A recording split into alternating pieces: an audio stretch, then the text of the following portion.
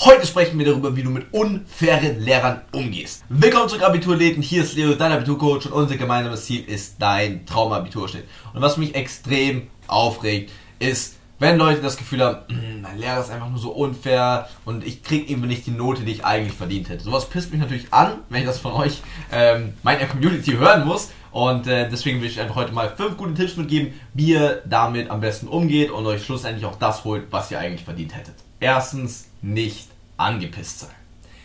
Das ist nämlich das, was als allererstes passiert. Du hast das Gefühl, oh Mann, der Lehrer ist unfair zu mir.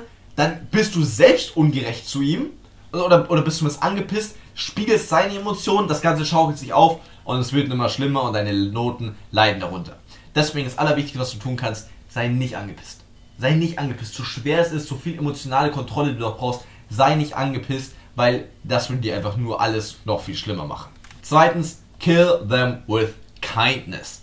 Das ist nämlich genau die Gegensache und das ist auch die Sache, die du tun solltest. Dass du eben wirklich sagst, ey, ich bin trotzdem nett zu dir. Ich lächle ihn an oder sie, je nachdem, wünsche ihm einen schönen Tag, verabschiede mich, ähm, halt meinen Platz sauber, ähm, keine Ahnung, räume, stelle auch die Stühle auf, kritisiere nicht zu viel. All diese Dinge, dass du einfach nett zu ihm bist, einfach höflich. Heißt nicht, dass du alles so machen musst, wie er das sagt, weil das ist auch wieder nicht so gut, aber dass du einfach trotzdem nett zu ihm bist. Weil was passiert, ist, dass ganz, ganz, ganz oft passiert, dass der Lehrer auch auf einmal passiert, auf anfängt nett zu sein.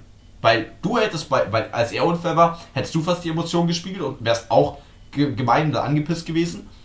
Wenn du auf einmal anfängst nett zu sein, kommt das meistens auch zurück. Weil du weißt nie, warum der Lehrer überhaupt gemein ist. Vielleicht denkt er einfach nur, dass allgemein deine Klasse kacke ist, aber wenn du merkst, hey, du bist irgendwie ganz nett, dann ist er vielleicht zu dir selektiv auch nett.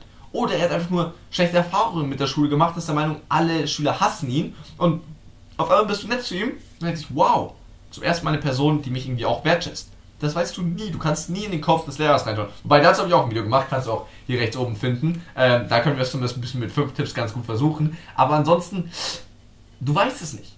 Und wisst ihr was? Wenn der Lehrer, obwohl du nett bist, trotzdem weiter mies und unfair ist, dann ist es halt so. Aber du hast nichts verloren, außer vielleicht ein bisschen falschen Stolz.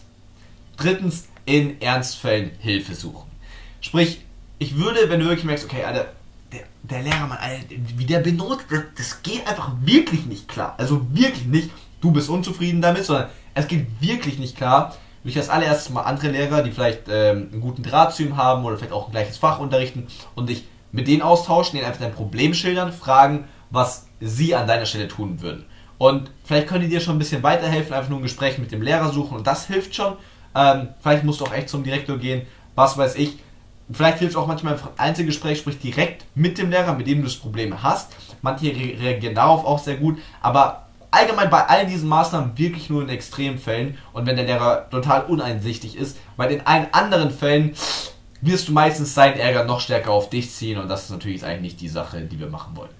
Viertens, doppelte Leistung bringen. Das bedeutet, dass du wirklich einfach genau in das Gegenteil gehst, was alle anderen machen. Oh, der Lehrer ist so unfair, da brauche ich mich gar nicht anstrengen, weil ich kriege ja sowieso nur so unfaire Noten. Du machst genau das Gegenteil.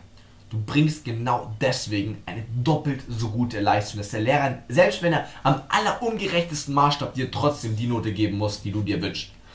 Und das, wenn du das schaffst, das zeugt schon von so viel emotionaler Stärke, dich da auch darüber hinaus zu winden und zu sagen, ist mir egal, wie der bewertet, wenn der saustreng bewertet, dann bin ich eben noch besser, dass ich da trotzdem auch ähm, hinkomme, weil was dann passiert, gerade strenge Lehrer sind vielleicht oft auch darauf aus, dass man gute Leistung bringt. Und wenn du auf einmal gute Leistung bringst, werden sie dich vielleicht auch viel besser behandeln und vielleicht sogar als, als Positivbeispiel, als Kontrast der ganzen anderen Klasse vorhalten. Und dann, wenn du in dem Spot bist, dass der Lehrer wirklich immer sagt so, warum arbeitet ihr alle immer so schlecht, aber der Leo ist die ganze Zeit dabei, zum Beispiel, dann hast du gewonnen. Hast du einfach gewonnen.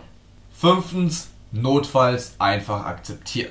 Ich weiß, dass dieser letzte Schritt einem extrem schwer fällt und mich hat das auch immer so hart abgefuckt, aber ich kann dir aus Erfahrung sagen, ein, zwei Punkte in der einen oder anderen Klausur wird dein Traumnotenschnitt nicht gefährden. Es ist viel wichtiger, dass du diese Energie, die du eigentlich da reinstecken wirst, dich darüber aufzuregen, wie ungerecht das ist und warum, wie er das dann machen kann, dass das ja nicht sein kann und so weiter, dass du die Energie nimmst, in die anderen Fächer steckst, da richtig gute Noten schreibst und dann wird auch alles passen. Deswegen lass dich davon nicht unterkriegen. Denk dran, ich glaube an dich. Wir beide hören uns im nächsten Video. Dein Leo. especially if it's my dream. I can let none of these looks in the vein. Of city's blessings I can't even see. Praying that I get to breathe, yeah.